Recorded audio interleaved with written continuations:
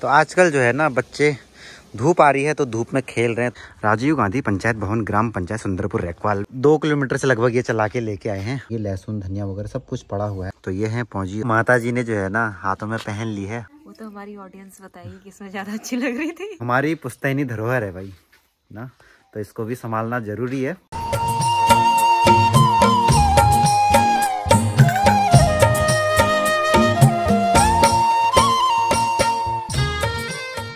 Hello ji, good morning. कैसे हैं आप? आई होप कि आप सब लोग ठीक होंगे और हम भी एकदम मस्त हैं। तो आज के ब्लॉग की शुरुआत होती है सुबह के लगभग 10 बजे से और बात करें मौसम की तो मौसम जो है ना, कल और परसों से जो है ज़्यादा ठंडा है और बादल भी लगे हुए हैं।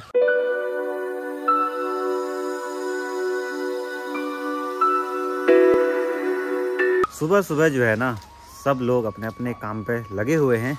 तो माता जी जो है ना यहाँ पे पन्नी इकट्ठा कर रही है, क्योंकि उस वाले में से जो है ना, हमने पन्नियाँ सारी निकाल दी हैं। तो माता जी जो है ना, जो अच्छी अच्छी पन्नी है, उसको समेट के, तय बना के उसको रख दे रही है, क्योंकि बाद में काम आएँगी।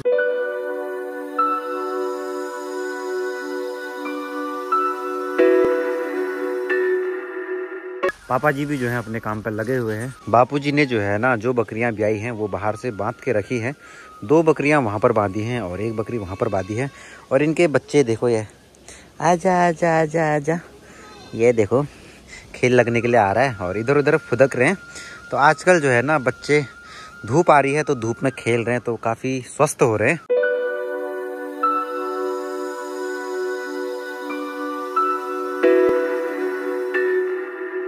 तो अभी हम लोग हो गए हैं रेडी और साथ में हमारी भाभी जी भी रेडी हुई हैं और हम जाने वाले हैं इस नीलू पे अपनी।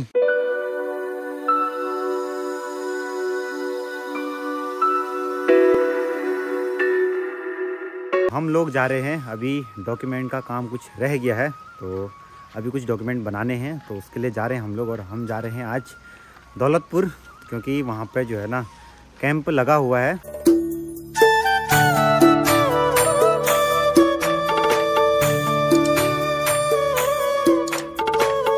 लोग पहुँच गए हैं आधार कार्ड केंद्र और ये है राजीव गांधी पंचायत भवन ग्राम पंचायत सुंदरपुर रेकवाल में।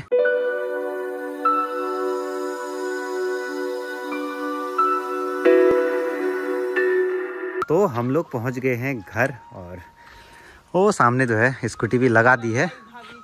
आपने चलाई? अच्छा। हाँ स्कूटी जो है ना दो किलोमीटर से लगभग ये चला के लेके आए हैं।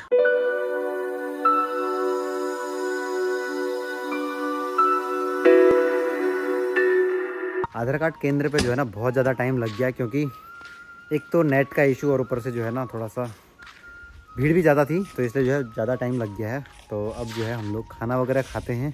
तो खाना हमारी भाभी जी ला गई हैं बाहर और मम्मी पापा लोगों ने खाना बना रखा है। झोली और चावल और इसके साथ में बना रखी है चटनी, जिसमें कि लहसुन, धनिया वगैरह सब कुछ पड़ा हुआ है और काफ़ी टेस्टी है और हम लोग खाते हैं और हमारे साथ में यहाँ पे बैठा है गुड्डू। पूछ ला रहा है गुड्डू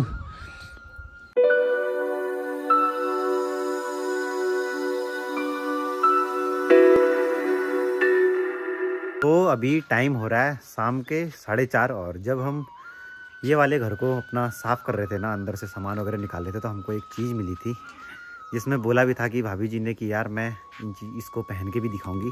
तो क्या मिली थी हमको? आपको याद आ गया होगा, हमको मिली थी पौजी। तो ये हैं पौजी और ये जो है ना, पूरे करके, सफ़ाई करके यहाँ पे सुखाने डाली हैं और पूरे तरीके से ये सूख गई हैं।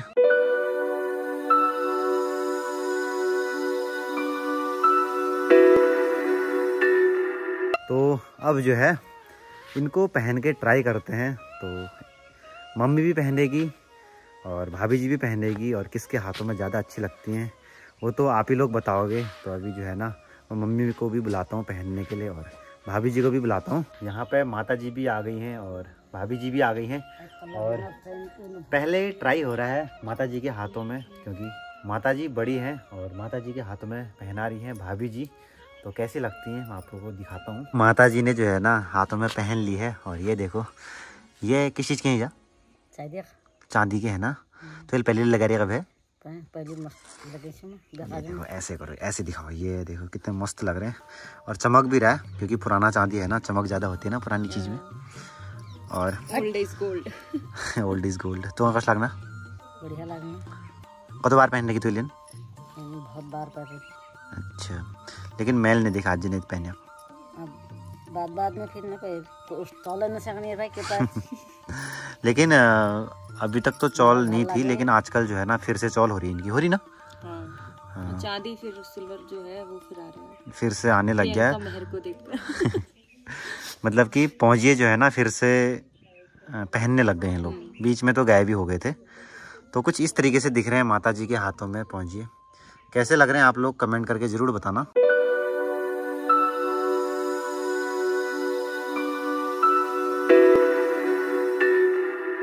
अब जो है माता जी ने तो पहन के दिखा दिए हैं और अब बारी आती है भाभी जी की है ना? शौक लग रहा है पहनने का।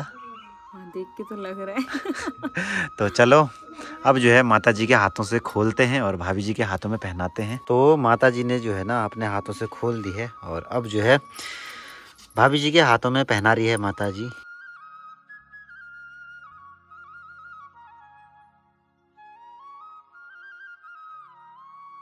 फाइनली अब भाभी जी ने भी पहन ली है और कुछ इस तरीके से दिख रही है भाभी जी के हाथों में। कैसी लग रही है? कमेंट सेक्शन पे बताना। तुम्हें कैसी लग रही है? मुझे तो अच्छी लग रही है। आप में ज़्यादा अच्छी लग रही थी या मम्मी में?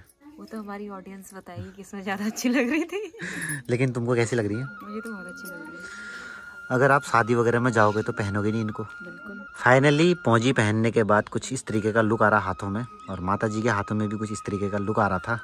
और आप लोग बताना कि कैसी लग रही हैं?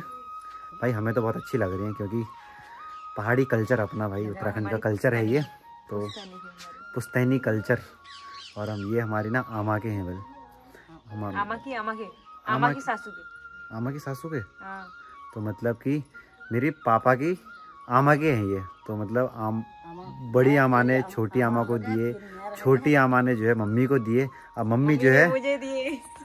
अभी तो इनको दिए हैं लेकिन अभी दो और आएँगे। कोई बात नहीं हम हम बदल बदल के पहनेंगे। मिल बांट के कर लेंगे ना? पुश्तैनी के यार। हाँ तो हमारी पुश्तैनी धरोहर है भाई ना? तो इसको भी संभालना ज़रूरी है। तो अब जो है हम लोग करते हैं कुछ काम वगैरह। तो सब लोग जो है ना अपने अपने काम पे लग गए हैं। भाभी जी ट्यूशन पढ़ाने लग गए हैं और माता जी जानवरों का काम करने लग गई हैं और पापा जी भी अब आने ही वाले होंगे। और अब जो है, मैं आज के ब्लॉग को यहीं पर समाप्त करता हूँ। मैं लक्ष्मण, उत्तराखंड के गोलापार से। मिलता हूँ आपसे अगले नेक्स्ट ब्लॉग में, तब तक के लिए। Bye bye